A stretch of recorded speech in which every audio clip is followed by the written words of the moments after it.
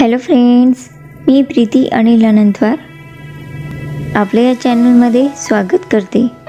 आज आपण पाहणार आहोत खोबऱ्याची वडी. ती घरच्या घरी एकदम छान कशी बनवायची?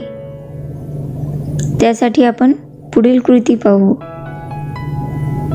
सर्वप्रथम एक वाटी खोबरा बारीक किसणीने किसून घेतलेला आहे. तुम्ही मिक्सरमधून सुद्धा काढू शकता. किंवा विकत जो बाजारात खोबरा किस मिळतो तुम्ही त्याचा पण वापर करू शकता. ज्या वाटीने खोबरा किस घेतलेला आहे त्याच वाटीने अर्धी वाटी साखर घ्यायची आहे. आणि पाक करण्यासाठी पाणी घ्यायचं आहे. दूध पावडर ब्रिटानिया कंपनीचे छोटे दोन पॅकेट घेतलेले आहे. तुम्ही कोणत्याही कंपनीचा दूध पावडर वापरू शकता. वजनाने पाहिलं तर दूध पावडर पंचवीस ग्रॅम घेतलेलं आहे. आपण एक कढई घ्यायची आहे किंवा नॉनस्टिकची कढई पण तुम्ही वापरू शकता. गॅसवर कढई ठेवून घेऊ. आणि ज्या वाटीने खोबरा किस घेतलेला आहे त्याच वाटीने अर्धी वाटी साखर घ्यायची आहे. मी इथे अर्धी वाटी साखर घेतलेली आहे. ज्या वाटीने खोबरा किस घेतला त्या वाटीनेच. किंवा गोडपणा जास्त हवा असल्यास तुम्ही साखरेचं प्रमाण वाढवू शकता. यामध्ये साखर भिजेल एवढंच पाणी टाकायचं आहे. या पाण्याला चांगली उकळी येऊ द्यायची. साखर पण विरघळते तोपर्यंत. आणि एकतारी पाक तयार करून घ्यायचा आहे. तुम्ही पाहू शकता साखर पण विरघळली आहे आणि चांगली उकळी आलेली आहे. या पाकाला पण चिकटपणा आलेला आहे. आता आपण यामध्ये छोट्या चमच्याने अर्धा चमचा तूप टाकून घ्यायचा आहे. आणि पुन्हा हे मिश्रण हलवून घ्यायचं आहे छान यामध्ये आपण जो एक वाटी खोबरा किस घेतलेला आहे तो यामध्ये टाकून घेऊया.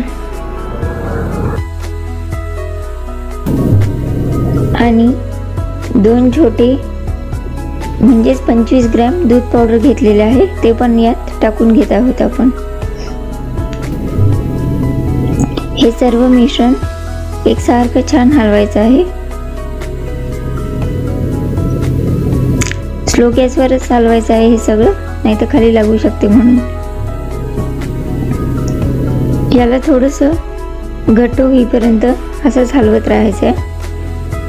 आणि आपल्याला वाटलं की आता थोडासा घट्टपणा आला याला त्यावेळेस आपण यामध्ये थोडी विलायचीची पावडर टाकायची आहे म्हणजेच पूड. आवडत असल्यास. अजून काही ड्रायफ्रूट्स टाकायचे आहे. कट करून घेतलेले आहे आपण. ते पण आवडत असेल तर टाकू शकता. नसेल आवडत तर नाही टाकलं तरी चालेल. बदाम आणि काजूचे तुकडे आहेत. तुम्ही पाहू शकता. याचा आता गोळा तयार झालेला आहे. सर्व एकत्र जवळ आलेलं आहे हे मिश्रण. अजून आता एक दोन मिनटं आपण होऊ देऊ व गॅस बंद करून घेऊ. आणि एका ताटाला तूप लावून घ्यायचं आहे.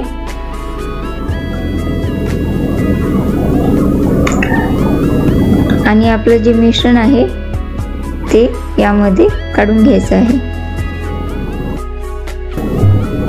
तुम्ही पाहू शकता हे मिश्रण आपण ताटात काढून घेतलेलं आहे. आणि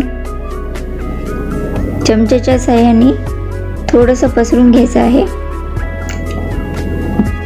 आणि हे मिश्रण गरम असल्यामुळे तुम्ही एखादं पॉलिथिन घेऊन सुद्धा त्याच्यावर ठेवून पसरू शकता.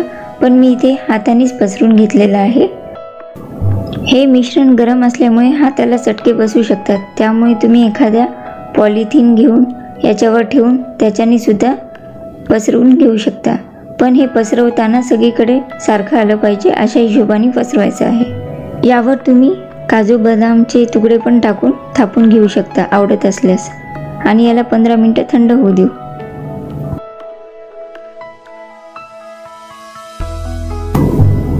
पंधरा मिनटं झालेले आहे आणि मी यावर ड्रायफ्रूट्स टाकून घेतलेले आहे. तुम्हाला आवडत असल्यास तुम्ही पण टाकून घेऊ शकता. आता आपण याच्या वड्या पाडून घेतलेल्या आहे चाकूच्या साह्याने. आणि याला आता सर्व करून घेऊ आपण. या वड्या सेट होण्यासाठी फक्त पंधरा ते वीस मिनटंच लागतात. तुम्ही पाहू शकता आपल्या वड्या अगदी छान नरम झालेल्या आहे आणि खायला पण ह्या खूप टेस्टी झालेल्या आहे तुम्ही पण याची रेसिपी घरी नक्की ट्राय करा. तुम्हाला जर हा व्हिडिओ आवडला असेल तर या व्हिडिओला लाईक करा शेअर करा आणि सबस्क्राईब करा. तुमचे कमेंट मला कमेंट बॉक्समध्ये नक्की कळवा. धन्यवाद.